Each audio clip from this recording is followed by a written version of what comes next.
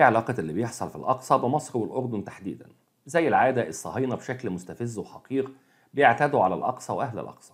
ولو كنت فاكر إن الموضوع مجرد اعتداء أو إغضاء لليمين المتطرف فيما يسمى إسرائيل فاسمح لي أقول لك إن المسألة أكبر من كده. وتعال نحاول نفهم مع بعض الموضوع بشيء من التأمل والتحليل.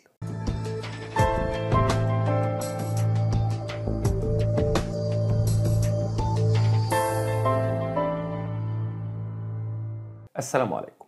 اولا وقبل أي كلام اعذروني على الألفاظ وأحب أكد اللي بقوله دايما وهو مؤكد أصلا. أنا من الناس المتعاطفة مع قضية فلسطين وإن كنت مش متعاطف مع معظم شعبها وبشوف منهم ناس أقذر من الصهاينة للأسف. إلا إن دولة الكيان الصهيوني هي كيان وسخ وابن وسخة. كان ولا زال وسيظل كيان وسخ وابن وسخة. واللي بتشوفوه ده في باحات المسجد الأقصى مجرد دليل من ضمن أدلة كتير على إنه كيان وسخ وابن وسخة.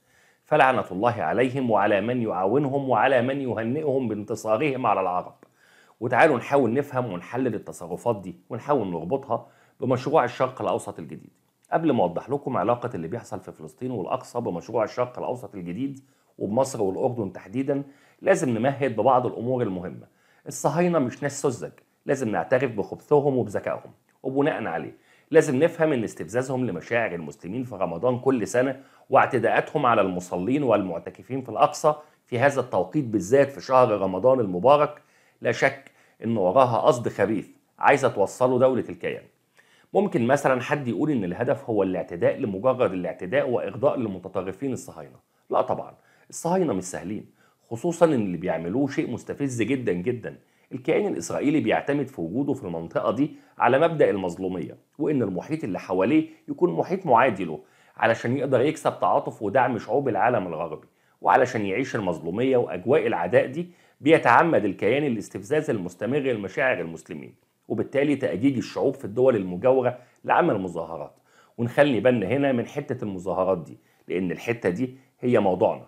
مصر والأردن مرصودين بمشروع الشرق الأوسط الجديد وخلوني أوضح لكم بالنسبة لمصر وبعدين نروح للأردن.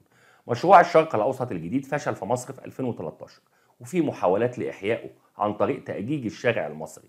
بنفتكر دعوات التظاهر اللي كان الإعلام الوظيفي المتخادم مع المشروع ده بيروج لها ما بين فترة والتانية من خلال تأجيج مشاعر المواطنين المصريين ضد الدولة من خلال الغلاء والبطالة وسد النهضة وغيره وغيره. وانتوا فاكرين الموضوع ده طبعا. والدعوات دي كلها فشلت. لذلك في محاولات لتأجيج الشارع المصري من خلال عاطفته الدينية المتعلقة طبعا بالأقصى المحتل من الصهاينة فتعمد دولة الكيان المعنية بالمشروع والمستفيدة منه لاستفزاز الشعوب للتظاهر علشان المظاهرات دي تتحول لما يشبه الثورة ويحصل صدامات ما بين قوات الأمن والمتظاهرين اللي مشاعرهم ملتهبة ولا يلاموا على ده بالإضافة لتدخل الجماعات الموجودة في غزة وإطلاق شوية صواريخ بعد كده والدنيا تولع في الناحيتين في الداخل الفلسطيني وفي داخل الدول العربية. فتتحقق الغاية غاية الفوضى المولدة لمشروع الشرق الأوسط الجديد ويكون في ضغط على دول معينة لقبول مشاريع معينة. يعني نكون قدام القبول بالتراضي أو بالغصب. وبفعل الشارع والهدف النهائي هو تنفيذ مشروع الشرق الأوسط الجديد. المشروع المؤدي لتقسيم وهدم الدول وتحويلها لكانتونات وتصبح جيوشها ميليشيات متناحرة متقاتلة على السلطة علشان الكانتون الصهيوني اللي اسمه إسرائيل يعيش في أمان في المحيط بتاعه ويضمن استمرار ترويجه لعلة وجوده في فلسطين واستمرار الدعم والتعاطف الغربي له. يعني مصر قدامها اختيار من اتنين إما إنها تقبل بإنشاء منطقة استثمارية داخل سيناء على حدود غزة يشتغل فيها الفلسطينيين أو الشارع في مصر يثور والأمور تضطرب والدنيا تتكهرب والأمن ينشغل بالداخل فيدخل الإرهاب من الأنفاق وتقوم حرب عصابات في مصر تحول استقرارها الفوضى ونفس الكلام ده بينطبق تقريبا في الأردن.